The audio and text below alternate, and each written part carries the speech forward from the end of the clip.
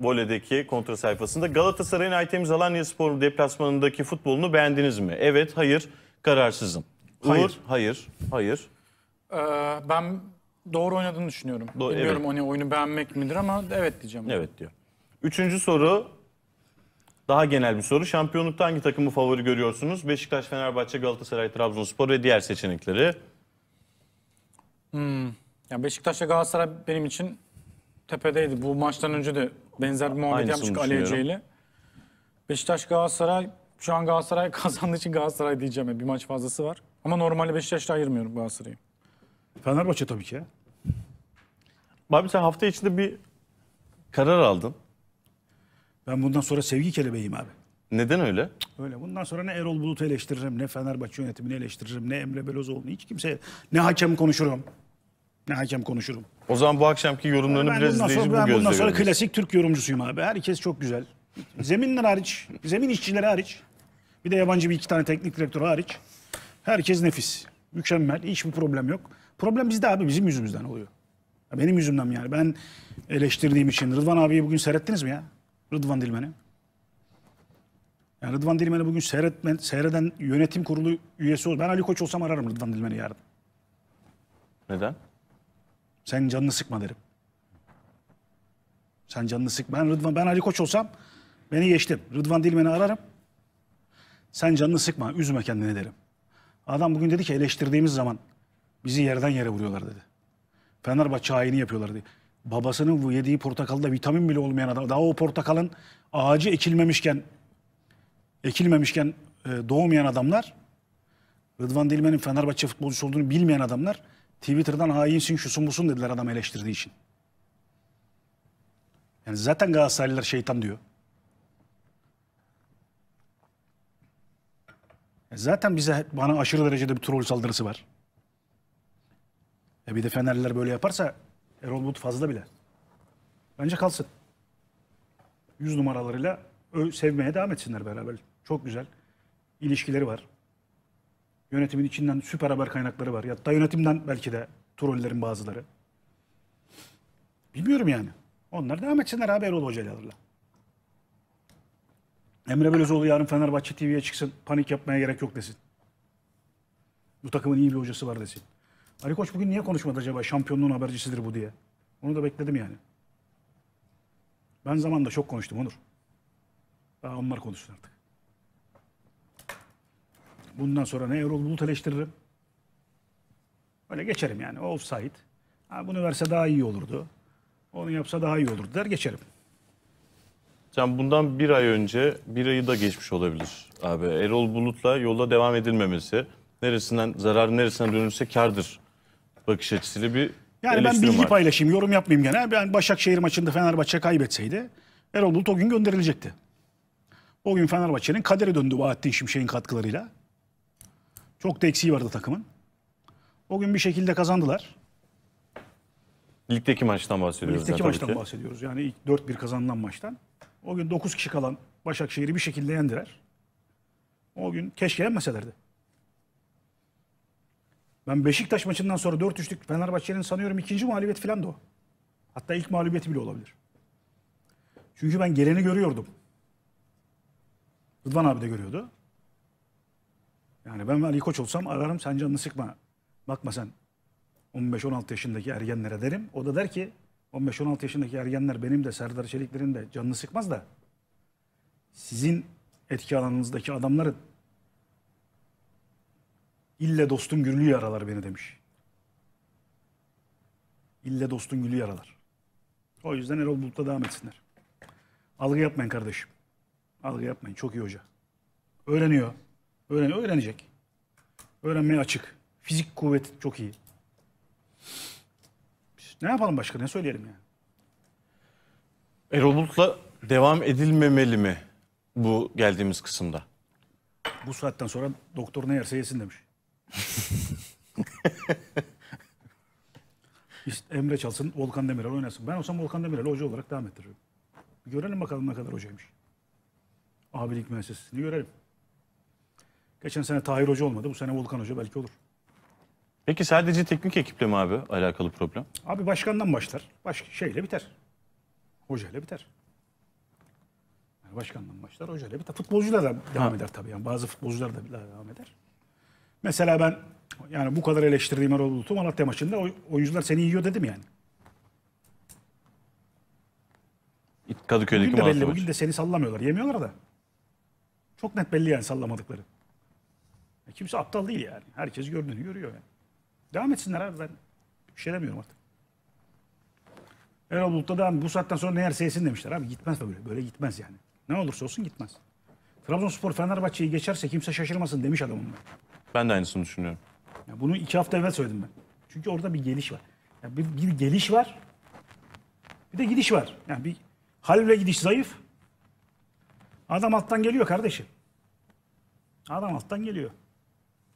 Devre arası transferlerinden sonra da bu örneği vermiştin abi. Eleştirildin o konuda. Abi ben yani çok eleştir. Ya bizi eleştirmeleri problem değil. Biz de tabii ki eleştireceğiz. Tabii ki eleştirileceğiz yani. Biz de eleştiriden bali değiliz hiçbirimiz. Hiçbir konuda. Tabii. Hata da yapacağız. Ama 140 karakterle konuşamadığım için yazılarımı anlatamam. Başlık üzerinden yorum yaptıkları, daha bugün başlık üzerinden saldırı var ya. Alanya Fenerbahçe maçında bu baş, bu yazıyı yazmış adam. Bugünkü maçta bugün yazmış diye. Ulan yazının içi var mı peki? Yok. Çok fazla soru var abi. Sana da hatta Uğur'a Bir da. dakika dur dur yaz. Yazının içi de yok. Yazının içini okun bakayım bir oku bakayım yazıyı. Ama sırf başlık. E yapamıyorum abi ben 140 karakterle. Sen biraz okuyacaksın bir zahmet. Abileri var bunların çok sevdikleri. Babaları var. Yüz numaraları var. Hep destek, tam destekçileri var. Devam etsinler abi. Ben ne konuşacağım bana ne? Ben mi kurtaracağım Fener'i? Gra- gra- grafikler grafikler var mı? Hazır mıdır? Grafikteki Tamam. E, Candaş Tolga Işık hattımızdaymış. E, abi geçmiş olsun. Gözlerimiz Sağ ol, yollarda. sağ ol. Nedir Çok durumlar? Teşekkür ediyorum sağ ol. İyi misiniz? Her şey yolunda mı? İyiyiz iyiyiz ya iyiyiz. Böyle bir geçen haftadan beri bir e, işte geçen hafta sonu başlayan babamın bir ufak rahatsızlığı oldu. Ee, inşallah yarın itibariyle artık hastaneden taburcu edeceğiz. Ee, öncelikle tabii sizden yani program arkadaşlarımdan çok özür diliyorum sizi yalnız bıraktığım için. Estağfurullah. Estağfurullah abi. Ee, daha sonra da bizi izleyen insanlardan özür diliyorum. Ee, ama bazen böyle sağlık meselesi olunca mecburen e, o bu vazife diye o vazifeden daha ağır basıyor. Ee, ama gözüm sizde Uğur'un da saçlarını kestirdiğini görüp buna şahitlik edememiş olmanın hayal kırıklığını yaşıyorum. Eyvallah abi. Probleminiz kas ağrısı mıydı, kuru öksürük müydü yoksa ateş miydi? Sizin probleminiz Covid'e yakalanmak değil mi? Evet abi. Fenerbahçe Covid abi ve sürekli böyle kuru öksürük, niye bu kuru öksürüğüm var? Kuru öksürüğü kaldıracağız hayatımızdan falan diyen teknik bir teknik direktör, bir sportif direktör, bir başkan var. Halbuki Fenerbahçe Covid yani. Fenerbahçe'nin bir oyun hastalığı var. Fenerbahçe'nin oyunu hasta. Fenerbahçe orta yaptığı için yenilmiyor. Fenerbahçe oyun oynayamadığı için orta yapıyor. Şahane. Fenerbahçe'nin e, mesela Caner'i oynatıp da niye orta yapıyorsun kardeşim demek kadar hayatımda daha saçma bir şey görmedim. Çünkü Caner zaten orta yapsın diye oynatırsın bir. Caner'in Novak'ın bir sakatlığı var. Parantez içinde onu söyleyelim ama yani sonuçta Novak varken Bence yok sakatlığı. e, şey ya şöyle söyleyeyim. Kıl Caner var bence. olduğunda ya daha doğrusu şöyle söyleyeyim. Takım bu Beşiktaş'ta da böyleydi. e, Bir önceki Fenerbahçe döneminde de böyleydi. İşler sıkıştığı zaman çare orta olduğunda tabii ki Caner ortayı yapacak. Yani burada Caner kardeşim ben top oynamıyorum ben orta yapacağım deyip kendi ayrı topunu getirip orta yapmıyor ki bu adam. Abi bu öyle mi acaba? ayağında patlıyor. Öyle mi acaba? Biraz da o da yani ben oy Birazı verirken. var. Ha, birazı var ama sen onu o zaten hoca orta üzerine yıkmayacağız dedi. oyun tercihi bak şimdi.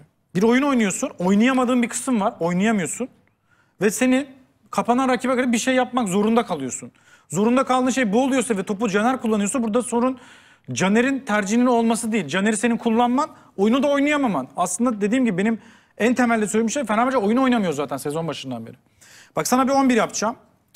Ee, geçen hafta verdiğin aslında iki hafta önce söylediğin şey ki benim, ben itiraz etmiştim.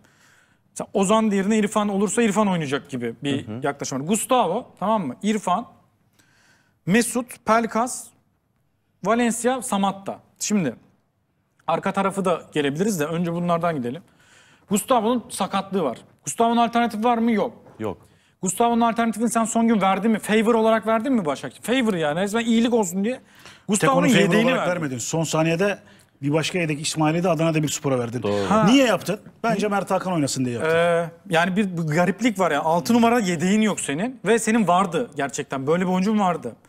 İsmail mesela hakikaten Mert Hakan'ın önünde Kesin. olacak bir yani Kesin. önünde demeyeyim de o rolde olacak ve rekabet edecek bir oyuncuydu. Fenerbahçe'nin çok iyi Niye transferlerinden geri birisi İsmail? Yüksel. Balıkesir Yüksek. Spor'dan niye çağırdın mesela? Ondan sonra bir daha verdim falan. Neyse o önemli değil. Ama önemli olan Demir'e gitti. Tolga daha önemli benim için. Çünkü Gustav senin en kritik 3 oyuncundan birinin tek alternatifi vardı verdin.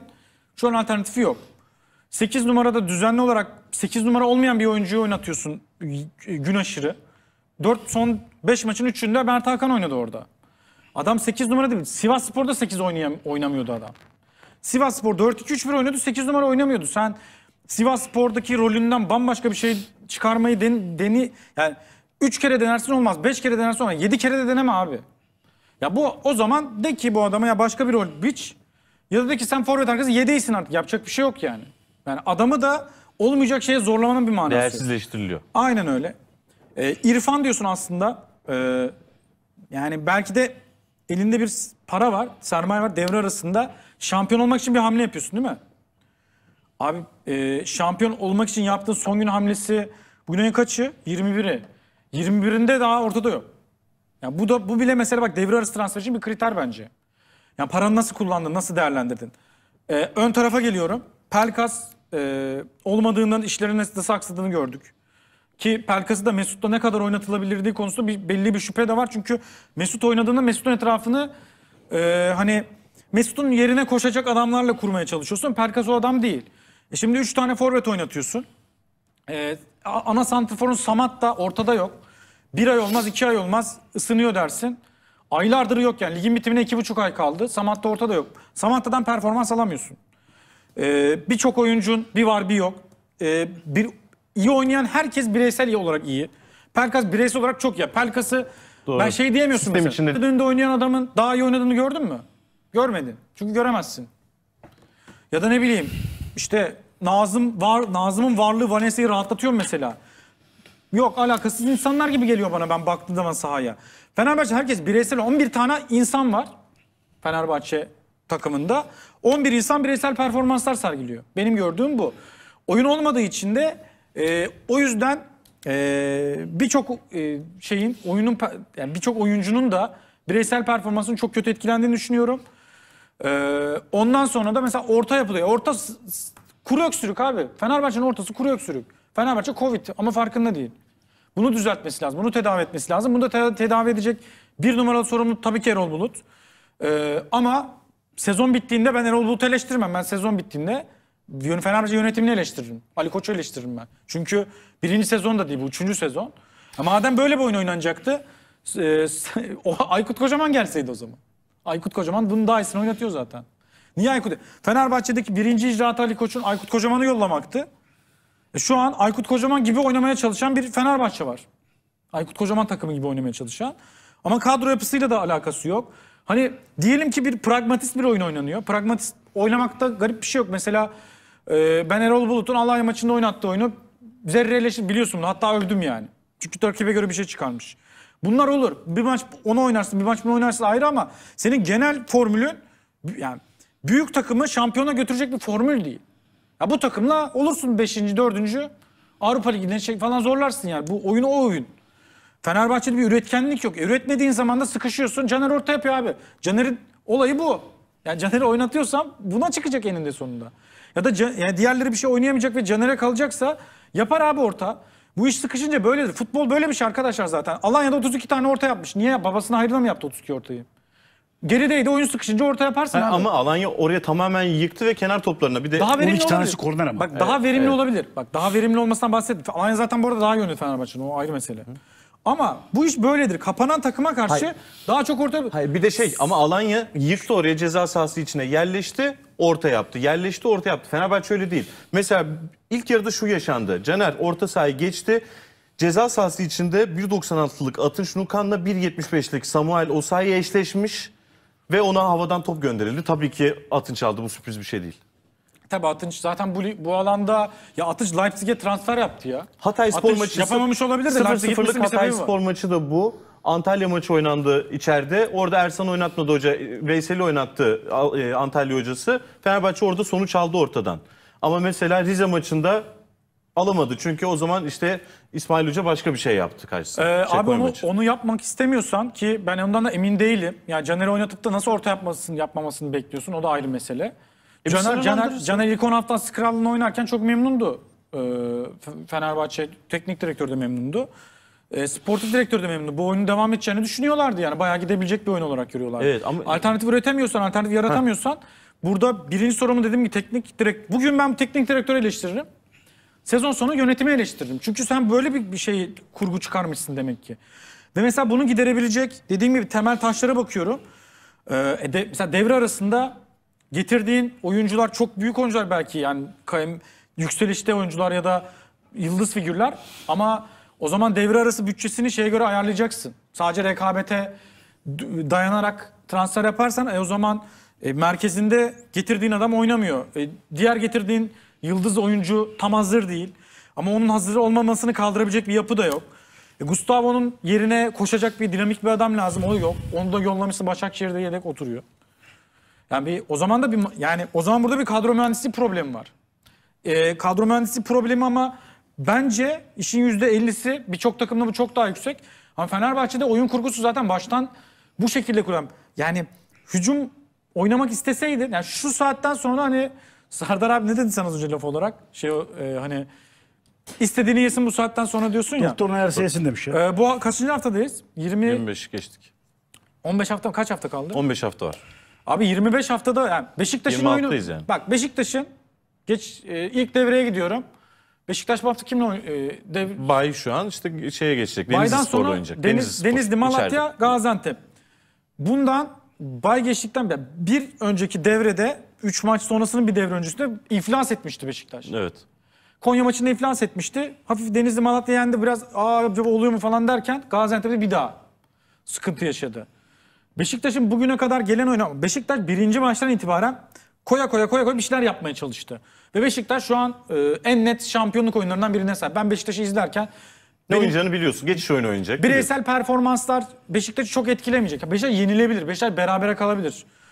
Puan olarak da acayip bir fark yok zaten. Hatta bir maç ikisi de puan puana. Ama Beşiktaş'ın oyununu görüyorsun. Beşiktaş yenilse de bir oyun oynuyor. Kazanınca zaten götürüyor maçı. Berabere kaldığında bile her hepsinde bir şey var. Bir oyun var. Ama Fenerbahçe kazandığında Fenerbahçe'nin galibiyetlerinin %80'inde ben Lan kazandı falan da ya helal olsun bir biri çıktı bir şeyler yaptı. Ya biri çıkıp bir şeyler yapıyor abi Fenerbahçe'de. Fenerbahçe bir oyun yok ki. Valencia bir iki kattı. Pelkas bir ayak içi vurdu. Tiyan miyan falan bir mücadele kaldı bir şey yaptı falan. Hani bunlar oyunun içinde var ama bunlar oyun içinde olmalı. Oy ama Fenerbahçe oyun içi yok. Oyun, Fenerbahçe bu. Bundan başka bir şey yok. Yani sadece 1-0'lar 2-1'ler bir falan hani bireysel performanslara dayalı oldukça e belli bir yere kadar gidersin abi. Be- hani taşıma suyla değirmen dönmez diye bir laf var. Taşıma suyla Fenerbahçe bu zamana kadar çok iyi geldi. İyi bile değil bak. Çok iyi geldi bu zamana kadar ama bitti abi taşıma su bu kadar olur. Vidalar sıkılacak son 15 hafta abi. E, yarısı küme düşmemeye oynuyor. Yarısı zaten kafaya oynuyor. İyi takımlar. Ee, e, haftaya Trabzon'la falan oynayacaksın. Yani sıkıntılı yani oyunun yoksa oyunu da aşama aşama bu bu saatten sonra Fenerbahçe hani biz başka bir şey oynamak istiyoruz. Abi bu Eylül ayı demeci. Eylül ayı demeci bu ya. Eylül ayında ya biz nasıl Şubat ayında bunu diyor olabiliriz? Zaten Mayıs'ta lig bitiyor. İki buçuk ay var burada. Bitti, bitti lig yani. Sen iki, e, iki buçuk ay kala hala oyun tartışıyorsan ki tartışılacak bir oyun olduğunu düşünmüyorum. Oyun yok çünkü bence. E, o, burada e, dediğim gibi eleştirilecek yerler belli. Yani e, şey diyenler de olabilir. Yani Mesut gelince mesela niye Fenerbahçe şampiyon ilan etmediniz diye e, dayağımızı yedik oturduk ama bu işte böyle kusura bakmayacaklar yani. Çünkü önce bir oyun Nasıl göreceksin ki ya yıldızı transfer edince şampiyon kimse vermiyor. Yoksa zaten Fenerbahçe'nin şu an Barcelona her sene şampiyon olur o zaman. 35 tane şampiyon olurdu Fenerbahçe'nin. Barcelona da Fenerbahçe, şampiyon olur. Fenerbahçe e, özellikle daha da geç zamanlarda hani ligde 60 sezon varsa 35'inde Fenerbahçe transfer şampiyonudur tahmin ediyorum. Tabii. Ama öyle değil yani futbol öyle bir şey değil abi. Serdar abi peki teknik ekibin oyuna hamlelerine nasıl bakıyorsun? 55'te Çok başarılı buluyorum. Tiam'da Nazım çıktı. Müthiş hareket. Gökhan'la Pelkas girdi. Abi biz takımımıza güveniyoruz demiş Orol Bilecik. Uzun ve meşakkatli yolda takımımıza güveniyoruz demiş Fenerbahçe'nin ikinci başkanı. E TÜSİAD başkanlığı yapmış adam. Güveniyorsa biz de güveneceğiz abi yapacak bir şey yok artık. Tabii mükemmel buluyorum bütün oyuncu değişikliklerini. Bugüne kadarki bütün oyuncu değişiklikleri hep olumlu etiketti. Bugün de olumlu etiketti. Hep bir planı vardı, kafasında bir fikri vardı hocanın. Almanca biliyor, İngilizce biliyor, Yunanca konuşabiliyor. Pelkas'ı falan o buldu. Tabii sonra şey var, Pantelis. Şeyci, Fizyo, şey, fizik tedavisi ama herkes adalet sakatlığı yaşıyor. Ondan sonra eee, çok iyi kaleci şeyi var. Yan topu öğrenemedi bir türlü hiçbiri. Harun geleni geçeni içeri alıyor. Üçüncü kaleci baraj kurdurmayı bilmiyor ama kaleci hocası var Kraft. Mesela. Ben bütün ekibi çok beğeniyorum yani. Çok üst düzey. Bence Fenerbahçe'de fazla kalmazlar. Bir süre sonra Almanya'da büyük bir takıma transfer olacaklarını düşünüyorum. Emre Belözoğlu'nu da yakın zamanda şeye bekliyor. Yani İngiltere olur, Inter, Inter olabilir mesela. Sportif direktör olarak gideceğini tahmin ediyorum. O yüzden bence hiçbir sıkıntı yok. Fenerler de Erol Bilecik'e güvensinler. Takımlarına güvensinler. Sonuna kadar Fenerbahçe demiş. Yani ne demekse sonuna kadar Fenerbahçe. Hani sanki başka ihtimal varmış gibi. Sonuna kadar Fenerbahçe. Yok ya yarına kadar Fenerbahçe. Kim mesela yarına kadar Fenerbahçeli? Ya anlamsız işler yapmayın. Bırakın bu işleri ya. En başta problem yönetimde abi. En başta yönetimde problem yönetimde yani. Bu başta bir daha tekrar dönmek istemiyorum ya suşilere, prolara da. En başta yönetim yönetimde yani. Sıkıntı pro yönetimde. İyi çalışan insanlar var. Çalışan profesyoneller var. Gerisi- Nedir abi sıkıntı Bilmiyorlar peki abi. yani? Bilmiyorlar. Bilmiyorlar abi. Bilmiyorlar abi. Seçimler mi? İyi ekip yok abi. İyi ekip yok. Aziz Ali Koç da yeniden başkan adayı olacağı zaman yönetim kuruluna alacağı birkaç isimle görüşüyor şu an. Aynen devam etsin o zaman. Biliyorum kimlerle görüştüğünde. Flash'ta bir. Ne biliyorum da Haber. görüştüğünde biliyorum yani. E doğru da bir iki tanesi de doğru isim. İnşallah kabul ederler. Daha tecrübeli bir isimlerden mi bahsediyoruz? Abi par, bak. Steve Jobs söylemiş. Her zaman beş kişilik ekip kuracaksın. Birisi sürekli eleştirecek. Birisi sürekli pozitif güzel. olacak. Biri de tembel olacak, tembel. Tembel adam alacaksın bir tane. Çünkü tembel adam kısa yol bulur abi. Herif buradan şuraya gitmemek için 50 tane fikir üre- üretir. Tamam bahane bulur yani. Benim o. O bile yani o bile bir şey yani. Bizim- bizim uzaktan tam kumanda ondan çıkmış öyle. biliyor musun uzaktan kumanda? Uzaktan kumanda tembel adamdan çıkmış abi. O bir fikir yani. Ulan kalkıp şuradan yapmayayım falan diye. Ondan sonra gerçekten yani. E şimdi Eleştirecek biri de o da eksikleri sürekli eleştirecek gösterecek. ben varım. Rıdvan abi var. Bizi yediriyorsunuz şeye, trollere. Adam bak bugün hakikaten izleyin adam. Hadi ben boş, ben bir, bir önemli biri değilim ben. Lan adam Fenerbahçe efsanesi be. Siz kimsiniz ulan Rıdvan Dilmen'e ağız açacaksınız? Erol Bulut'u eleştirdik diye yemediğimiz laf kalmadı dedi adam yani. Vallahi üzüldüm yani. 60 yaşında adam ya Rıdvan abi. Neyse. Ekip kurarken. Ha tembeli bulacaksın bir tane. Baba ya tamam ya. falan. Çünkü tembel adam sana kısa yol bulur abi. Bir tane negatif bulacaksın. Sürekli negatif. İçini bayacak böyle adamın. Yeter ulan biraz sus diyeceksin adama yani. tamam mı? Ama o adamlar titiz olurlar genelde. Belki diyor ki "Te- tanıdık geliyor diyor. Ha, ya titiz adam olur böyle adam hiçbir şey ama titiz. Hata yapmaz o. Hiçbir şey yapmaz. Gol yemezsin. Onun yüzünden ya o sayede gol yemezsin. Hayatta yemeyiz. Ondan sonra bir tane böyle pozitif her şey çok güzel olacak. Abi süperiz. Hiç sıkıntı yok. Çok güzeliz baba filan. Bunlar abi yani bir tane de böyle iki tane de çalışkan adam olacak işte. Onlar da var zaten yani. Şimdi daim sadece paranoidler hayatta kalır diye bir kitap var. Sadece paranoidler hayatta kalır. Intel'in CEO'sunun yazdığı bir kitap bu. Tamam? Intel'in kurucusu, CEO'su, şeyin Silikon Vadisi'nin ilk yatırımcılarından, ilk orayı kuranlardan olan Andy Grove'un yazdığı bir kitap bu. Biraz böyle kişisel gelişim kitabı. Adam diyor ki devamlı şüpheci olacaksın, devamlı. Her zaman her türlü olasılığı ortaya koyacaksın. Ben 10. haftada yazı yazmışım, 10. haftada. Beşiktaş maçından sonra yazı yazmışım. Ya bununla gitmez demişim ya. Ulan acaba gitmez miyi soracaksın yani. Bu zaman ben yani orada demişim Başakşehir maçından sonra demişim. Emre Belözoğlu'na mektup Erzurum spor maçından sonra demişim. Bak kazanılan maçtan sonra demişim. Hat, Hatay maçından sonra söylemişim. Galatasaray maçından sonra başkana mesaj göndermişim. Ya bu gece Lucien Favre getirin diye. Havadası değişsin bu takımın diye. Çünkü bu iki hafta önceki Galatasaray maçından sonra. Olmayacağı belli duaya amin diyemezsin. kas hafızası diye bir şey var. Bir işte 10 bin saat geçireceksin. 10 bin saat geçirmeden o işte kas hafızası edinemezsin. Daha 100. Süper Lig maçına çıkmamış bir hocayla buralara gidemezsin. Bir potansiyel var, güvendik başladık diyebilirsin. Niye başladığını eleştirmiyorum. Ya Prandelli bir puan gerideydi, kovdular ya. Tudor 3 puan mı ne gerideydi? Kovdular. Ve yeni düşmüştü. Evet. 3 puan mı? 4 3 puandı fazla değil. 2 puan mı 3 puan mı neydi Orada yani? Ya 3 ya 5 ya maksimum 5. 5 değildi, 5 değildi. 5 yoktur bile. 5 değildi. 3 veya 2'dir. Belki söyler. Prandelli bir puan geride bitirdi. Göreceksin bunu. Paranoyak olacaksın. Paranoyak. Ulan bununla gitmez. İki. Rakiplere bakacaksın abi. Senin rakibin kim bir kere? Senin rakibin kim?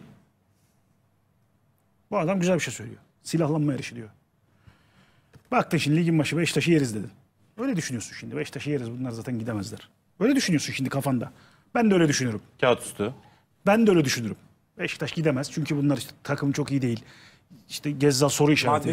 Rozier soru işareti. Para ödeyebilirler mi? Bilmem ne. Bir sürü bir sürü bir sürü, bir sürü şey. Düşündün. Zaten şeye de kötü girdiler. Milli araya. Ya Galatasaray'da yönetimle terim arasında problem var falan. Şu bu. Tamam o sırada o sırada ikinci bölüm var. Yani Beşiktaş'ın bir geri dönüşü var. 21 günden sonra bir Beşiktaş gerçeği var. Doğru mu? Beşiktaş çatır çutur geldi. Ulan bunlar bir şey oynuyorlar dedin. Yani diyeceksin ona. Demen lazım. Bak burada bir şey oynuyor bak. Bu adam bir şey yapıyor burada. Oyuncu stratejileri var. Bu geliyor. Bu geliyor. Bunu bir koyacaksın. Öbür tarafta adam diyor ki devre arası transferin bizim için çok önemli olduğunu düşünüyoruz. Tam kelimesi kelimesi cümlesi bu. Bu, bu transfer döneminde iyi geçirirsek bunun stratejik bir hamle olduğunu düşünüyoruz. Ne demek stratejik hamle? Eğer diyor bu sene de şampiyon olursak sene sonu şey bitecek. Aldım sattım. İşi bitecek. Bir de Şampiyonlar Ligi'ne gideceğim. Daha güçlenirim diyor. Hemen diyeceksin ki lan bunların devre arası transfer planı nedir? Bunlar bir şey yapıyorlar yani. Bir planları var bunların. Öte yandan bir üçüncü rakibin şimdi çok uzaklarda gözüken bir rakibim var. 1-0 1-0 geliyorlar abi.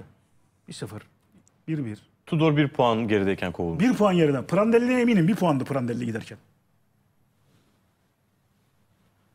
Ne? Tıra, ulan bu da geliyor bak. Burada da bir şey var diyeceksin ya. Burada bir şey var.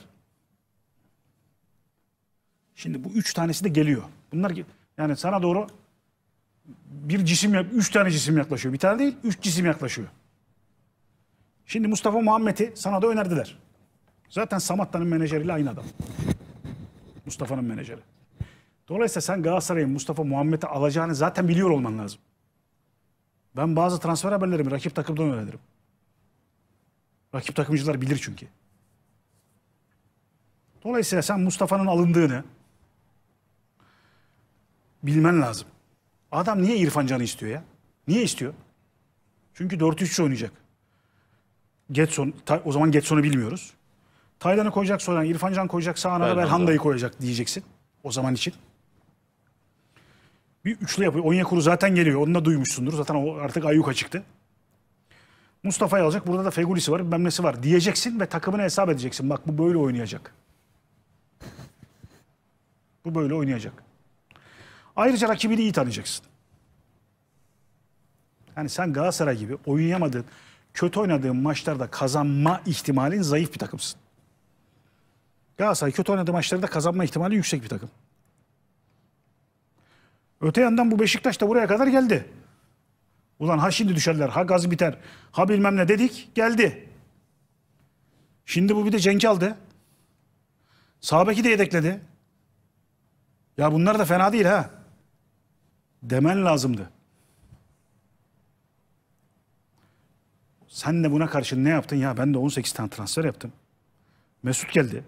İrfan geldi. E, stoper diyordunuz Zalai'yi de aldık. Bir kişi daha aldı Fener. Kim aldı? Bright Osa'yı. Ha Osay kanat, hızlı kanat istedin onu da aldık. Gel bakayım Emre'cim. Galatasaray maçından sonra kovacaktın hocayı. En geç. Emre seni Bence Beşiktaş maçından sonra. Ben o zamana kadar o zamana kadar ben ben de söyledim o zaman. Beşiktaş maçı zaten dediğim Onur bayağı şaşırmıştı. Ben söylemem çünkü. Ben de söyledim, ben Teknik de. direktör belli. Ama en Ben geç orada en geç diyecektin ki bak bu adam güçlendi geldi. Bu adam güçlendi geldi. Bu dükkanda güçlendi öbür dükkan. Bakasetas aldı 3 tane maç aldı sana. Tabii Yunus Parasını Berat, çıkardı Berat, bak, Berat, yılın Yunus transferlerine Mallı. oynar bak. Yılın en iyi 3 transferinden biri Berat. Abi Bakasetas sana şu ana kadar 6 aldı. puan aldı. 6 puan kaç para abi? Nasıl abi? 6 puan kaç? 6 milyon lira. Hep transfer parasını neredeyse çıkarttı adam. Aa, E şimdi o zaman diyeceksin ki ulan bunlar Aynen, güçlendi. Bizim zayıf yönümüz ne? İki tane zayıf yönüm var. Takım içinde santraforun yok. Biri de bana göre teknik direktörün yok. Gustavo'nun yedeğiydi işte bir de. Ya bu Gustavo'nun yedeğinde bulurdun. ya bu pap Papis Bir de- ise mesela Fenerbahçe özeti gibi ya. Yani oyunda hiç olmayan atarsak bir tane atarız oyuncusunu. Bir tane santrafor almalıydın. Oynattı Hepsinden önemlisi hoca almalıydın. Fenerbahçe'nin ben başkanının yerinde olsaydım çok önceden bu kararı alırdım. Çünkü paranoyakça düşünürdüm. Olmayacak. Çok hep rakibin senden çok daha iyisini yapacakmış gibi çalışmazsan Onur Tuğrul. Bu program bu saatte her programa geçilir. Her gün eşek gibi çalışmazsan o işini bir gün kaybedersin. Her gün çalışacaksın. Her gün. Sen Onur Tuğrul olarak bu yaşında müdür olmuşsun. Ben senin muhabirlik zamanını da biliyorum. Her gün çalışacaksın abi. Biz de tamamız abi dediğin gün birisi gelir geçer seni. Süper. Hep paranoyak düşüneceksin. Onlar benden iyi diyeceksin. Rakibini hep böyle daha büyük göreceksin. Mustafa mı aldı? Ulan adamlar Alvaro Morata'yı aldılar kadar. Öyle düşüneceksin yani. Öyle düşünmelisin. En azından grupta biri öyle düşünmeli. Fenerbahçe'nin transfer bütçesi Galatasaray'dan az mıydı? Değildi değil mi? Tarihin en Daha düşük çok- bütçelerinden bir tanesiyle yaptık bu transferi diyorlar Emre. Ki doğru. Ama Çok da fazla değildi. e, anlaştığım bonservis, 400 İrfan'la anlaştığım bonservis bedeli Mesut'un maaşı var, İrfan'ın maaşı var. Ama şeyde Osayi var falan. Sene başında artıda kapattı onu. Bir de maaş bütçesini de daralttın. Toplam limitte o yüzden Toplamdan açık vardı. bahsetmiyorum. Devre arasında harcadığı para. Devre arasında O Fenerbahçe daha zaten fazla o harcadı. bir şey diyeceğim. Yani o bütçe zaten oluşması için o lazım. Ben onu sorgulamıyorum. Diyorum Yani ki devre arası devre harcadı. arasındaki transferlerin giderlerine baktığımızda evet. Gelir gider dengesi olması başka bir şey. Tamam, anladım. Senin elinin ne kadar güçlü olduğunu soruyorum. Devre 1 Ocak itibariyle Daha güçlüydü. Fenerbahçe daha mı güçlüydü? Doğru. Kim daha güçlü çıktı?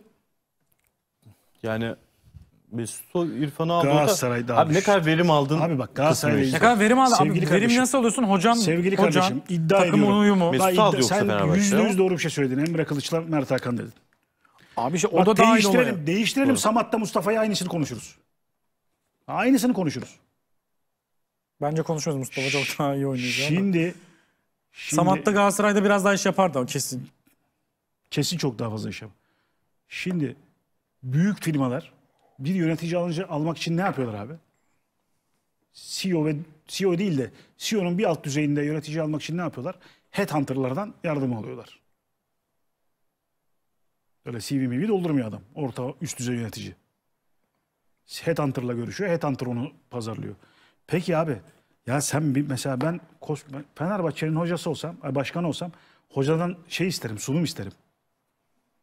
Sunum isterim ya. Sen ne düşünüyorsun? Nasıl bir oyun oynatacaksın bize? Ne yapacaksın? Ne yapacaksın diye sunum isterim. Ama işte ama işte Pirlo Juventus öyle gitti mesela. bugün bugün bir Süper Lig'de oynayan bir takımın bir takım yöneticileriyle bir yerdeydim. Bir hoca değiştirecekler. Tamam mı? Yabancı bir hocaya Zoom'dan görüşme yapıyorlar. Zoom'dan görüşme yapıyorlar. Yabancı hoca diyor ki tamam diyor ben diyor sizin takımı anladım. Ne istediğinizi de anladım. İşte bir iki gün sonra bir daha görüşelim. İki gün sonra adam üç buçuk saat analiz yapıyor. Başka bir Türk hocayla görüşüyorlar. Beşinci görüşmede takımı tam sayamıyor. Bak beşinci görüşmede takımı tam sayamıyor. Başka bir Türk hocadan da devam ediyorlar sonra. Başka sebeplerden ötürü. Şimdi şunu söylemeye etkilendi yani. Şimdi sen bana bir sunum yap. Yapamayacağına adım gibi eminim. Sunum yapamaz. Sunum yapamaz. Biz ne yapacağız? Yok. Hoca biz ne oynuyoruz? Yok. Ama bunlar için biraz da senin bilmen lazım. Seni başındaki En azından bilmiyordu diye bileceksin. Bilmediğini bileceksin. Bilmediğini bir şey benim anlatıyorum işte. O da bugün bir mesaj attı kardeşim benim. Benim hani bu coin moin kripto paralarda bir danışmanım arkadaşım var diye. Diyor ki Erol Hoca'ya iki tane coin söyleyelim teknik direktörlüğü bıraksın diyor. Ondan sonra eee, şimdi hiç anlamıyorum. En ilgilenmiyorum bile yani. Adam bana teker teker anlatıyor bak böyle var şöyle bir şey var şöyle bir proje var. İşte buradan şu kadar batabiliriz ama işte kazanırsak bu kadar kazanırız. Tek tek anlatıyor bana. Zaten diyor atla bir paramız da yok da. Adam uğraşıyor sabah 7'de yatıyor.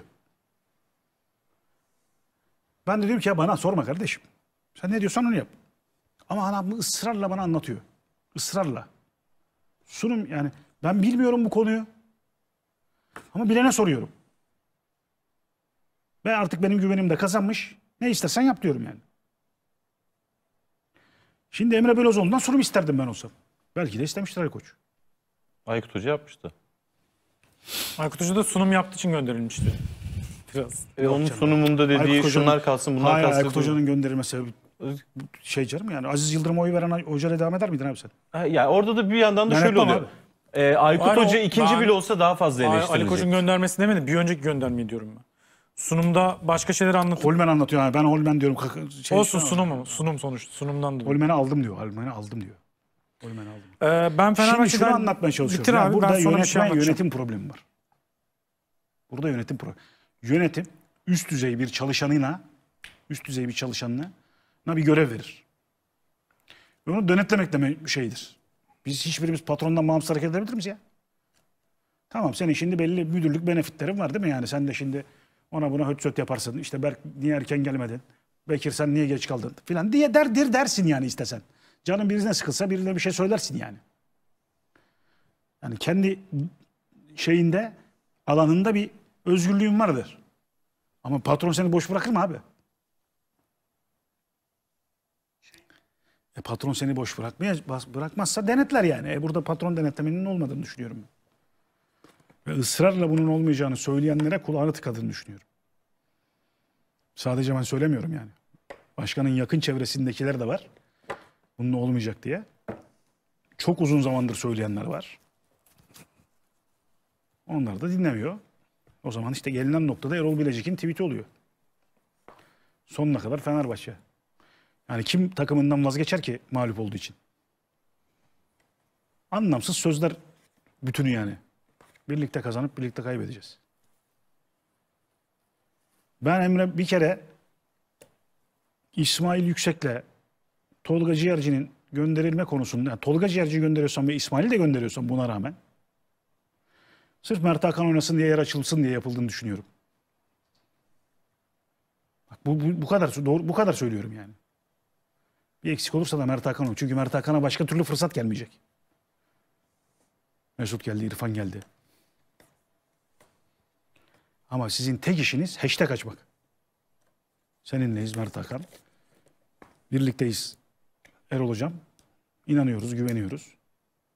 İşte bu kadar oluyor abi. Hashtag'le bu kadar oluyor. Biz Ya anladın mı? Ben şey istemiyorum. Bak gerçekten ben Beşiktaş seviyesi ya da Galatasaray'ın derli toplu oynadığı e, top seviyedeki oyunu gibi bir şey beklemiyorum.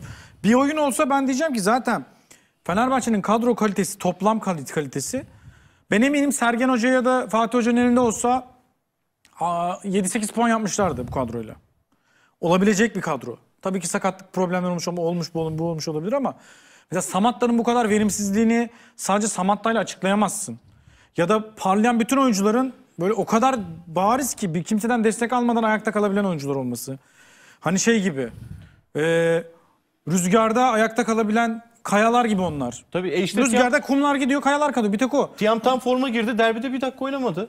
Ee, yani ortada çok acayip bir tablo var. Ben bu yüzden diyorum yani oyun sıfır olduğu için e, bunu da 2-3 hafta önce de söyledim. Yani Trabzonspor'da dahil en kötü oyunu oynayan Fenerbahçe.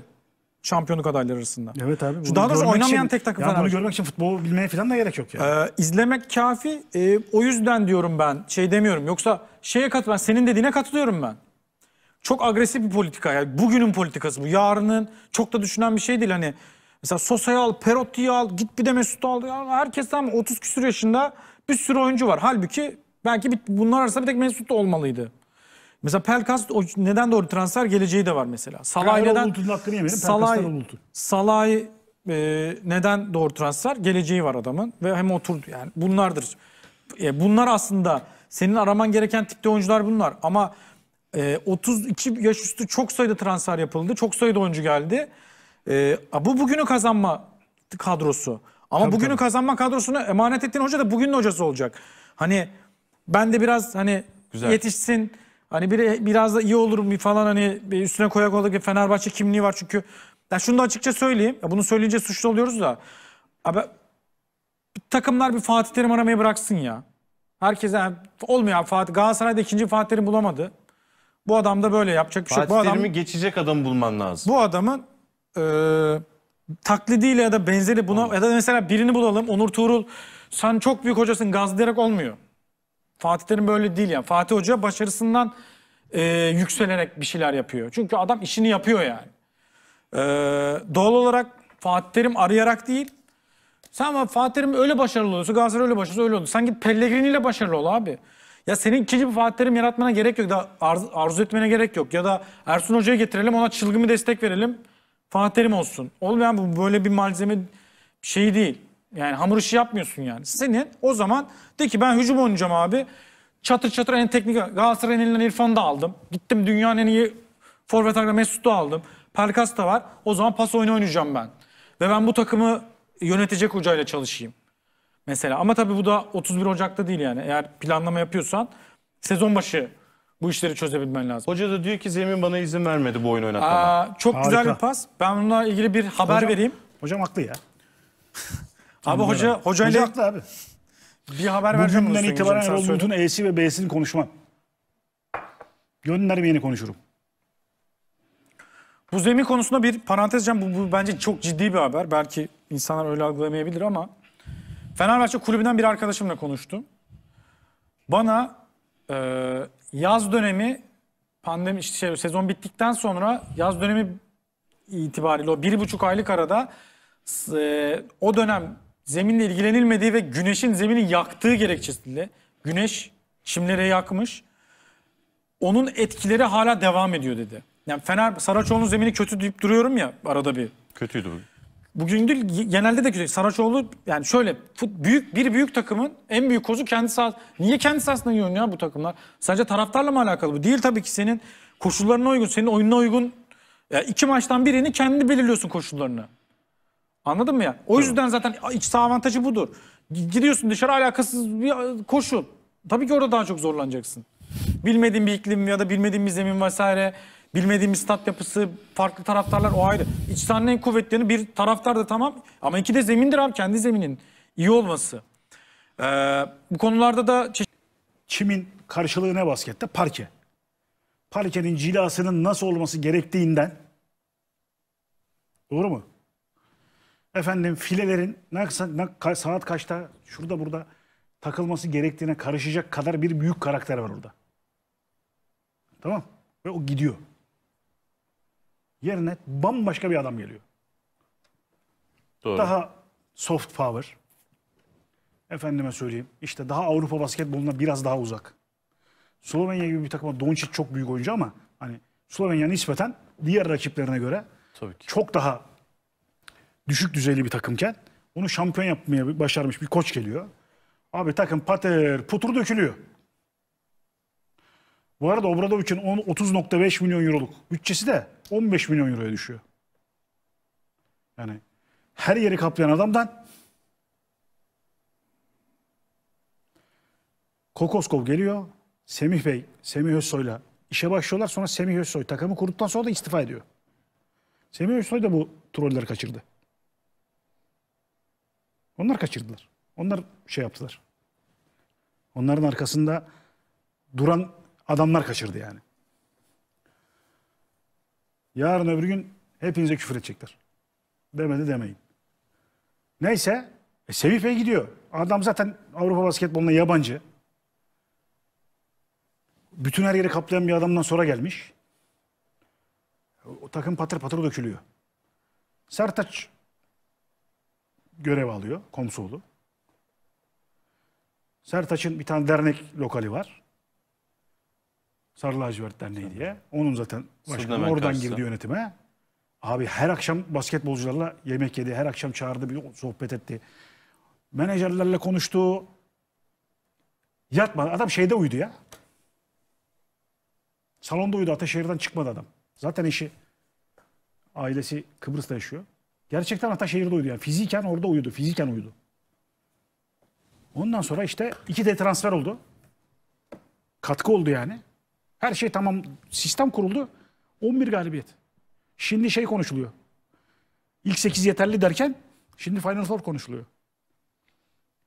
Demek ki bir adanmışlık var orada. Selahattin Baki ile Kemal Danabaş tatile çıkmadılar transfer döneminde. Her transferi bunlar yaptılar. Yani bunlar da oradaydılar. Evrak işleri, adamı karşılama, yerleştirme, ailesini gezdirme, gezdirme vesaire vesaire. Kemal Danabaş 6 Ekim'de tatile çıkabildi. Transfer ta- bittikten sonra. Bir günlüğüne gidip geldi. Şimdi Emre Belözoğlu da çok çalıştı Allah için. Transfer döneminden bahsediyorum. Yaz transfer döneminden söz ediyorum. Kış transfer döneminde de çok çalıştılar. Ama onların görevi orada bitiyor. Transfer dönemi bitince bitiyor. Geriye Samandıra kalıyor. Samandıra'da el koyacak bir Sertaç Komsoğlu yoksa transfer döneminde kadar çalışacak bir Selahattin Maki Kemal Danabaş kadar çalışacak birisi yoksa bu başkan olamaz. Çünkü başkan patrondur abi. Patron fırça atar. Bir tane de arada birisi olması lazım ki yastık olsun. O yastık yoksa, o çalışacak adam yoksa her şeyi Emre Belezoğlu'ya emanet ettiysen o da hep hocasının arkasında durmak zorunda. İki sebepten. Birincisi o gitmesin diye, ikincisi kurduğu sistem bozulmasın diye.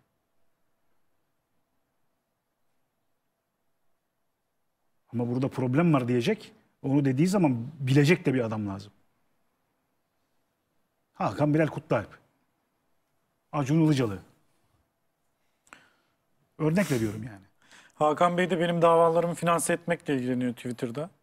O da Efendim şey işte yani bunun, başarılı olur eminim. bunun gibi bunun gibi birkaç tane futbolu bilen yöneticinin olması gerektiğini söylediğim için bunun gibi mesela yönetimi değiştir. Şekip Bostoroğlu'nu al abi. Ama Dedim yani. futbolu bilen var işte abi daha ne olsun ki? Kim var abi? Emre Selahattin. Baki Premier Yok, İngiltere'de aa, çalıştı. Onlar, onlar Emre Belözoğlu işte da onlar da, çalıştı da onlar çalıştı da yani. sportif direktörü denetleyebilecek pozisyonda mı emin değilim. Ya da öyle bir görev verildi mi emin değilim. Olamaz da zaten bir yandan da yani. O Birlikte zaman, çalışıyorlar. O diyelim. zaman baba burada sorun nedir diyecek adam başkandır. getirsinler. Mesela. gelmez. O zaman abi yani Fenerbahçe'de böyle adamlar var. Yani ben onun adını konuşmayayım tabii. Bu şekilde bir denetimin denetim mekanizmasının da yoksunluğunu net bir şekilde görüyorum. Belki de başkanın etrafı, belki değil kesin biliyorum. Bunu gönderelim dedikleri var. Çok öncesinden bunu gönderelim diyenler var. Çok öncesinden beri. Çok öncesinden beri var. Abi Fenerbahçe'de bir tane yatmayacak, uyumayacak, herkesi bilecek, herkesi tanıyacak bir tane bir kişiye daha ihtiyaç vardı. O iki kişi var mı yok mu bilmiyorum. Ve olmayacak duaya amin denmeyeceğini önceden çözmek gerekirdi. 10. adam, 10. adam 10. adam İsrail devletinin 10. adamı varmış. Yalan doğru bilmiyorum. Ben de zombi filminin Burada abi sen onu anlatırken aklıma o gelmiş. zombi biliyorsun. filminin şeyi var. World War Z'de Ha, Dünya Savaşı Z'de diyorlar ki ya siz nasıl öğrendiniz bu zombilere karşı önlem aldınız filan. Diyor ki bizde 10. adam vardır diyor. Ne iş, ne iş yapar 10. adam diyor. İşte, işte en üst düzey devlet organı bu. İlk 9 kişinin tamamı aynı şeye okey dese bile 10. adam hayır demekle yükümlüdür. İlk 9 kişiden zombi diye bir şey mi olur saçmalamayın demiş. 10. adam olduğu için kendisi hazırlamış onu. Ulan olabilir filan deyip araştırmış adam. Hakikaten de çıkmış sonra filan. Tamam? Şimdi bu Galatasaray'da bu kadar transfer yapılacak. Bu Beşiktaş iyi geliyor. Böyle paranoyak yapacak, paranoya yapacak da bir adam da lazımdı. Sakin olalım. Heyecanlanmayalım diyen olacağı gibi ki var. Bunun da olması gerekiyor. Bazen de Aziz Yıldırım gibi bazen de bir dakikada karar alacak da bir şey de lazım. Bir dakikada ben seninle çalışmam arkadaş diyecek adam da lazım yani. Hoca bak böyle gitmez ha falan diyecek de adam da lazım yani. Demek ki. Özetle Fenerbahçe'de genel olarak bir yönetimden başlayarak futbol organizasyonunu doğru yönetemeyen bir durum var. Bak basketbol organizasyonu daha doğru Ama iyi yaptıklarını da söylüyorsun Bak, abi. Yani. Sertaç bas- Bey seçen de sonuçta o. öyle bir değerli yönetici seçen de basketbol, Başkan Ali Koç. basketbol organizasyonunda toparlanma oldu. Doğru mu? Doğru. Yüzde yüz. Şimdi hem de çok büyük bir alan kaplayan bir adam çıktıktan sonra oldu. Futbolda da çok büyük alan kaplayan biri gitti. Aziz Bey gitti. Aziz Bey çimin böyle olmasına izin verir miydi hiç sanmıyorum. Ulan bu çimleri kim yaktı derdi yani. Şimdi o zaman o kadar büyük alanı tek başına birisi dolduramıyorsa ki doldurmasın zaten. Bir daha ya bir daha öyle bir, bir- her yeri dolduran bir kişi gelmesin. Ama bir delegasyon var yani delegasyon. Ya sen buraya Ah- Ahmet sen al, Mehmet sen yap. Ya bu çim işinin en iyi kim bilir abi? Hollandalılar sallıyorum şimdi. Polonyalılar neyse. Abi getirin şunları onlar yapsınlar. Bunu diyebilecek adamsın sen yani. Keşke bu organizasyonu o anlamda daha doğru Ya kursalardı. ben kulüp içinden çimlerin yazın yandığını öğreniyorsam bilmiyorum mesela Ali Bey'in. Bak, bak bir şey anlatayım. Kendi Ama o da biraz rekabetle ilgili mi acaba? Bak biraz kendi hanım. Diyor ki o- yani Dur abi. o, o 100 bine yapmış, ucuz yapmış. Biz de zemine para harcamayalım mı geliyor acaba? Bütün ya ne abi çünkü bir milyon yok verin yani abi parası. ya. Sen maaş veriyorsun abi bu adamlara yani. Erzurum'u konuştuk, 4 milyon Malatya'yı euro maaş alıyor konuştuk. adam. Geçen hafta 17 kuruş balçık temizliyor. Bu hafta Fenerbahçe'nin ç- Ya hepsi rezalet. yok. Ben eleştirdiğim şey başka ama herkes kendinden mesul. Burada Fenerbahçe'yi konuşuyorsak, Fenerbahçe çıkarları için konuşuyorsak. Fenerbahçe kendi çıkarını önce kendi savunacak, kendi Öyle. şey yapacak, e, sağlayacak ki. Sonra ben, ben Galatasaray konuşurken Galatasaray zemini eleştirmedim mi ben o gün nasıl Eleştirdim. temizlendiğine dair. Ona da eleştirenler oldu da önemli değil yani ben bildiğimi söylüyorum. Fenerbahçe için de bildiğimi söylüyorum. Yarın da söyleyeceğim yani o şey değil. Onu da eleştireceğim. O bu bu Hani diğer takıma o dedi bu dedi değil. Ya her takım için her e, şey ne doğruysa doğrusunu söylemeye çalışıyoruz. E, daha ucuza diye bir şey yok abi. Ya böyle bir şey. Çünkü futbolcunun sağlığını direkt ilgilendiren bir şey. E, ya bu adamlar zemin yüzünden sakatlanıyorlar. Zemin yüzünden sorun yaşıyor. Zemin yüzünden top oynayamıyor ya adam. Daha şeyim var. Sakatlık geçirmese de e, daha Mesut'un geldiği bak akşam demedim mi ben? Mesut bak bu zeminlerde pas atamayacak ve eleştirilecek diye. E, Bak de başladık yani daha ikinci Yani genel bir organizasyon İkinci problemi var. Bak Fatih Terim Florya'dan çıkınca da organizasyon problemi oluyor. Niye? O da çünkü her şeyi dolduruyor. Aa, abi kusura bakma ben bir şey araya gireyim. Çimle ilgili bir kendi anımı anlatacağım. Ee, şeyde sene 2000 ya 9 ya 10 Derazın'dayım, şeydeyim. Fenerbahçe altyapı maçı izleyeceğim. O maçta da inanılmaz döktürdü. Okan Alkan diye bir oyuncu vardı bilmiyorum hatırlar mısın? Sağ bek. Sağ bek. Sağ bek uçuyordu. Evet. Maçı izledim. Yazacağım onu. İşte eee, ben de şeyim yani o zaman onlarla falan daha çok ilgileniyorum. Ondan sonra az şeyden eee, maçı da dere ağzında ya yukarıdan izleyebiliyorsun ya da tellerin oradan izleyebiliyorsun. O sahanın yani bilmiyorum gerçi 10 sene önce değişmiştir mutla- mutlaka bir şeyler değişmiştir ama iki tane saha var. Eee, sonra Aziz Yıldırım ve yanında iki kişi yürüyerek oradan geçiyorlar. Bu çimin hali ne böyle ya? Bunu da yaptır dedi bu hafta. Ge- ge- geç hafta gelip bakacağım buna falan. Hani Aziz Yıldırım dere ağzındaki altyapı sahasını çimiyle kendi ilgilendiğini kulaklarımla duydum. Ee, bu bir doğru bir yöntem midir? Ee, Bazen. bile ben önce futbol konuşurum sonra hakem konuşurum. Bugün özellikle bir parantez açmak istedim buna. Şimdi futbol tarafına geleceğim. Bence Gelme. fa- Dur, Futbol Sorbayı tarafına. bitirelim o zaman. Tamam o zaman. Var mı hakemle ilgili söyleyeceğim bir şey? Yok abi buyur. Şimdi bunun temel sebebi iki tane temel sebebi var. Birincisi bana oldu mu amenna Rabbena. Ya Rabbi şükür. Ne güzel de hakkıyla kazandı demeyeceksin Fatih Hocam o zaman geçen hafta. Zumbacı bir metreden vermedi. Hani çok iyi hakemdi niye vermediler maç? Erman abi. Niye bu hafta maç vermedi? Haftaya da vermeyecekler. Çünkü Serdar Tatlıvar konuşmalarını dinledi. Uf. Evet. E sen şimdi o zaman var çağ ısrarla vara gitmiyorsan bir metreden gözünün önünde öbür tarafa da 15 metreden koşuyorsan zumbacı olarak o zaman da yani onu da eleştirildiği zaman vay niye eleştirildi demeyeceksin. Birinci sebebi bu. Her takım için Rabbena amenna. Başakşehir maçından sonra Ali Koç'un yerinde olsam işte ben negatif olsam, yönetimde olsam, danışman kurulunda olsam, bilmem yönetici olsam falan derdim ki başkan çık şöyle şey de. İşte bak gördünüz mü biz daha geçen hafta hakemler kötü diyorduk. Bugün de bizim, bizim lehimize bir sürü hata yaptı. Gelin kardeşim bu sistemi değiştirelim desen kahraman olurdum. Hep bana Rabbena, ammenna çok güzel. Bu birinci sebep. İkinci sebep bizim otoriteyle ilgili bir problemimiz var. Biz otoriteye güvenmiyoruz. Ya ben daha burada geçen hafta kardeşim bu programda Zorbay Küçük'e demedim mi burada ya? Daha atanması falan yokken. Niye atmıyorsun kardeşim Envakame'yi ikinci sıradan? Niye atmıyorsun dedim. Bir gerekçe de bulmadım. Yok çünkü. Hayır gerekçesi varmış. Envakame iki hafta sonra Fener maçında oynasın diye kafasında düşünmüş de bilmem ne de filan. Düşünmüştür biliyor musun? Trabzon'u tuttuğu için filan değil. Abi ben başıma bela almayayım diye yapmıştır. Orada onu atamayınca burada da Babakar'ı atamıyor işte. Aynısı. Ama ikisi de yanlış. Burada o zaman sen bu adamı niye atıyorsun abi? Niye atıyorsun sen? Bana bir söyle ya. Sen Serdar Tatlı, ey Haftanın fahiş Metin hatası. Tokat ya. Ya bu haftanın en önemli maçı ne abi?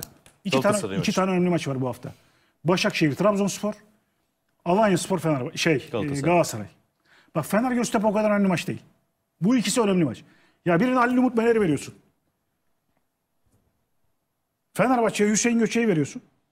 Ya buna da bir tane ciddi bir hakem ver abi. Berk var hakemi neydi? Söyler misin? Emre Malok. Heh.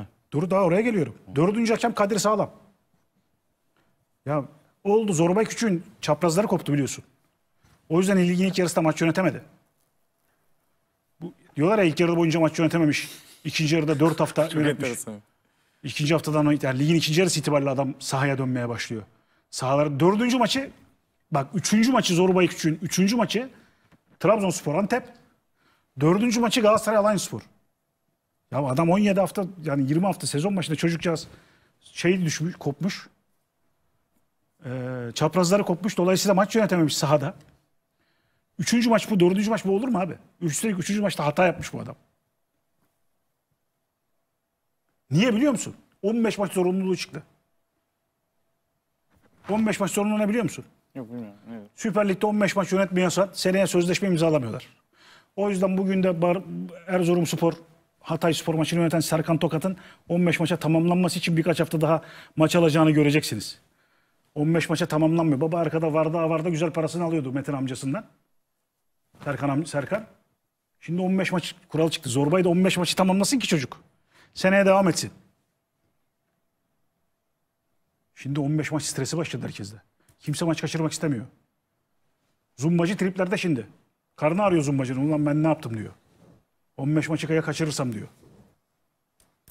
Zorbaya da ondan veriyorsun maçı. 15 maçtan. Çocukcağız tamam ver de biraz 5 hafta sonra ver. Yavaş yavaş ver. Ver mesela Antalya şey maçını. Ee, Antep bugün iki orta sırada iki takımın mücadelesi. Ver Zorbaya küçük yönetsin abi. Ama adamı sen Envakame'ye atamazsan ya da yani direkt atamazsan kırmızı karttan atsa ikinci sarıda. Burada da Babakar'ı atamazsın. Tam üstüne. Yine de o zaman de ki lan senin dördüncü hakemine de Ali Söz Kahya yaptım. Çünkü Kadir Sağlam böyle duruyor abi. Fatih Hoca saha içinde. Yani kendine ayrılan çizgiler dışında sahanın içinde hocam direkt. Yani dördüncü hakemin görevi ne? Önünde Zavellas elle geldi. Adam görmeyebilir bu şekilde geldiğini. E söylesene abi adama. E söyleyemez ki Kadir daha yeni abi daha şey daha. Daha bebek. Var hakemi 42 yaşında Emre Malok. Şeyde maçları var. Alt ligde. Birincilikte. Orada çok maç yönetmiş. Varda da çok görev almış bu sene. Varda da çok görev almış. Varda da başarılı olduğu için bu maça vermişler. Verme abi. Bak verme.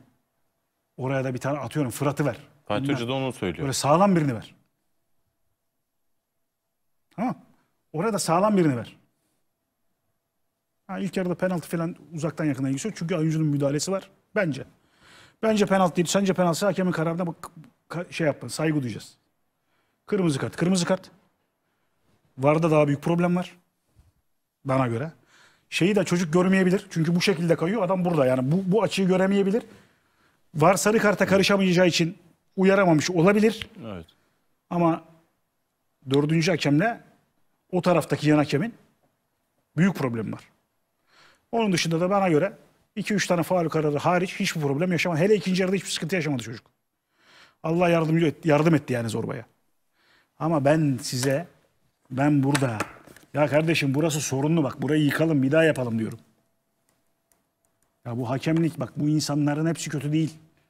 Kötü insan değiller ama burayı yıkacağız. Bir daha yapacağız. Bir daha yaparken geçmişten günümüze görev almış hiç kimseyi getirmeyeceğiz. Tam bir sıfırlama yapacağız. Ya Mars'a yerleşiyoruz Mars'a. Mars'a yerleşirken dünyanın saçmalıklarını götürür müyüz abi? Götürmeyiz inşallah yani. Herhalde götürmeyiz. Öyle değil mi abi yani? Yani bazı güzellikleri götürsek bile her şeyi götürmeyeceğiz yani. Ulan burayı da yok edeceğiz. Mars gibi yani Mars'a yerleşiyormuş gibi bu yepyeni bir şey kuracağız. Dediğim zaman da hoo yaptınız. O zaman konuşmuyorum abi hakemide ben de. Ona da küstüm. Şimdi şimdi ama diyorum size bak 15 maç işi var diyorum. 15 maç. O 15 maçtan dolayı Zorba'ya maç veriyorsun. Serkan Tokat'a artık maç vereceksin. Uğur saha içine bakacağımız zaman ilk yarıyı Galatasaray ilk yarı Galatasaray'ı daha olumlu buluyor. E, Fatih Terim'in açıklamasından da anladığımız bu. İkinci yarıda mesela Berk'in yorum çok hoşuma gitti. Arsenal maçında bile Galatasaray bu kadar baskı yememiş olabilir dedi. Ee, 24 şut denemesi Alanya Spor. fazla, inanılmaz. %72 toplu oynama 32 orta. Yani kaleyi bombardımana tutmuş inanılmaz bir Muslera performansı. Ne dersin ikinci maçı? Ee? Galatasaray bir önceki şampiyonluğunu hatırlayanlar devre arası transferinde iki tane oyuncu geldi. Muslera'nın önüne Marka ve Luyendama. Muslera'nın da formunun iyi bir dönemiydi. Zirvesinde bir dönemiydi ve bu üçlü Galatasaray'ı en az gol yiyen yapı yapıp savunmasının temeli olup şampiyonluğa götürmüştü. Bu maç bana biraz o dönemi hatırlattı. O dönemki transfer başarısının ekmeğini Galatasaray hala yiyor. Doğru oyuncu bulursan, doğru yatırım yaparsan bonservis harcamak her zaman olumlu döner. Öyle e, maliyetsiz gibi gözüküp bonservissiz oyunculara kamyonla maaş ödeyip çöpe giden paraların hesabını genelde yapmıyorlar. Ama e, işte Marka'ya verilen bonservisin hesabını ha- herkes yapıyordu o dönemde. Ama gördük ki Marka, Luyendama, Luyendama da çok iyiydi bu arada.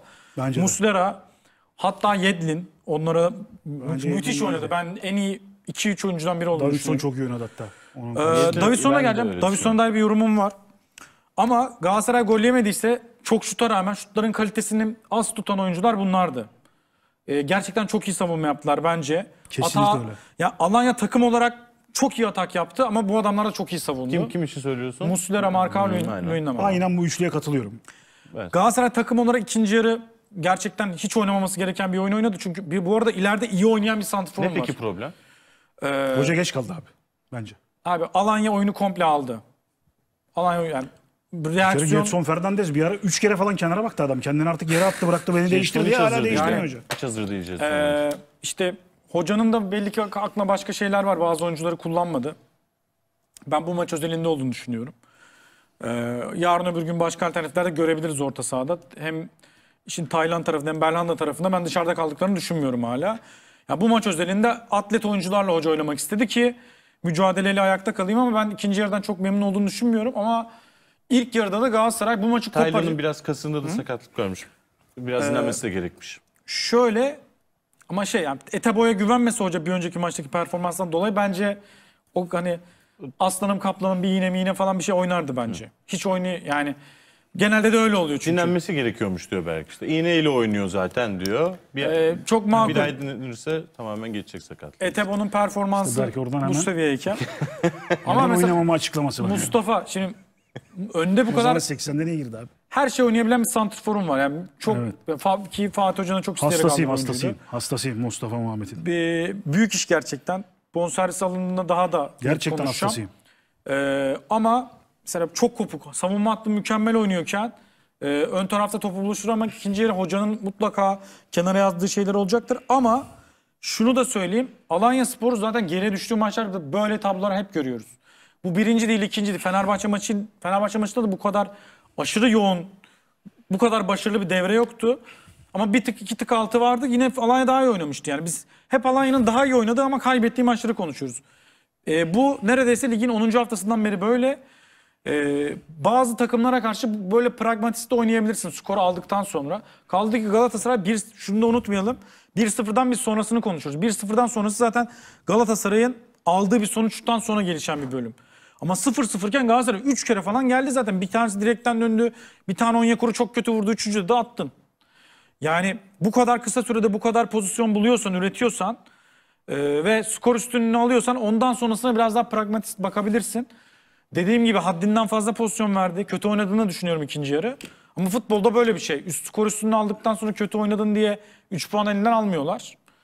Ee, şey konusuna da değindik zaten. Bu tarz maçları oynamak bence mübah bazı takımlara karşı. Her takıma değil. Ama Alanya bu kadar dominant oynuyorken ve topu verdiğinde bu kadar sıkıntı yaşıyorsa, e, hani üretkenliğe sahipse ama sonuçlandıramıyorsa, e sonuçlandıramamasını oynarsın. Sonuçlandıramadı zaten. Yine aynı şey olmadı mı? Çok pozisyon verdin ama. Ee, bu arada Davidson inanılmaz oynadığını düşünüyorum. Çok iyi futbolcu abi adam. Davidson çok iyi futbolcu. Neden Davidson e, mesela bu kadar iyi performansı var? Çünkü Davidson'a e, araştırılıp bonservis ödenerek alınmış bir oyuncu. 1 milyon euroya, bir para değil. Yani Türkiye'deki futbol kulüplerinin anlamadığı şey şu. Parayı siz oyuncuya maaş olarak vermeyeceksiniz. Siz parayı oyuncuya bonservis olarak vereceksiniz ki iyi oyuncu gelecek ve parladıktan sonra daha fazlasına ya ya da eşitine satacaksın. Maaş boşa giden paradır. Bonservis boşa giden para değildir. Davidson da bunun en net örneklerinden bir tanesi. Şahane. Ee, Anadolu takımlarının da bunu daha fazla yapması lazım. Büyük takımların da yapması lazım ama bir türlü buna uyanamıyorlar. Sürekli bonservis oyuncu, star oyuncu ve isimli isimli oyuncular boşa düştükten sonra almayı çok seviyorlar bizim takımlarımız. Abi bunları bırakın. Bunu Davidson alın abi. Siz işte Raşit Gezzal'ı aldı mesela. abi. Marka'yı alın. Da sana. Marka'yı alın, Davidson'u alın. Tamam bunlar yani. Ya da bileyim Rozier'in bonservisini alın. var ya büyük takım oyuncusu ha. Gerçekten çok iyi futbolcu. Ee, hani bakıyorsun da maçın en iyilerine bakıyorsun. Hepsi bir yatırım yapılmış belli yani. yaşta oyuncular. Ee, bir- noktada bir nokta artık kulüplerimiz de ayması lazım. Alanya Spor gerçekten ligin en iyi transfer yapan 3-4 takımından bir tanesi. Bunu Kesin kesin. e, hani net yazarım oraya. Davidson da iyi bir örnek. İnşallah böyle de devam ederler. Gelen paraları döndürmeye devam ederler. Çünkü Merih'ten gelen parayla da çeşitli şeyler yapılmıştı. Ee, maaş ödemesi konusunda belli sıkıntılar olduğunu duymuştum. Bir, bir buçuk ay kadar önce. Ee, O zaman bir düştüler zaten. Düzeldi mi bilmiyorum. Ee, ama ligin değerli takımlarından biri yenilmeleri hiç önemli değil. Ee, bu lige renk kattılar bu sezon boyunca. Kimse de Alliance Spor'dan sezonun birinci haftasında şampiyonluğu oynamasını beklemiyordu. Şampiyonluğa potasına giriyor gibi düştü diye de bu takım kötü iş yapmıyor. Genel manada bu lige renk katıyorlar. İyi de futbol oynuyorlar. Alanya, mesela Alanya Galatasaray maçı, Alanya Fenerbahçe maçını izlerken bambaşka bir maç izliyorsun yani gerçekten. Ya bu ligin Leeds United'ı bu adamlar. Leeds United de orta sıra takımı orada Premier Lig'de ama ben her Leeds United maçını izliyorum. Her Alanya maçını izliyorum. O yüzden Çağdaş Hoca'yı da tebrik ederim. Hasan Bey'i de tebrik ederim.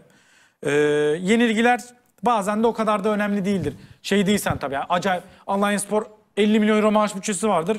30 milyon euro bonservis harcar. O zaman derim ki nasıl yani iyi futbol tamam da bir de sonuç görelim derim o zaman. Ama Alanya'nın sonucu bu zaten abi. Alanya'nın e, iyi sezon geçirmesinin kriteri Avrupa kupaları kontenjana yakın mı değil mi? Oralar yani. Beşincilikler sekizincilik arasıdır. Bakasetas'ı da yani Bakasetas yerine Um- Umut'un yerine Bakasetas olsa bir gol atmışlardı. Galatasaray için bir fikstür avantajı var mı? Çünkü Galatasaray Var. Alanya deplasmanında geçince en sert deplasman o görünüyordu. Var. Şimdi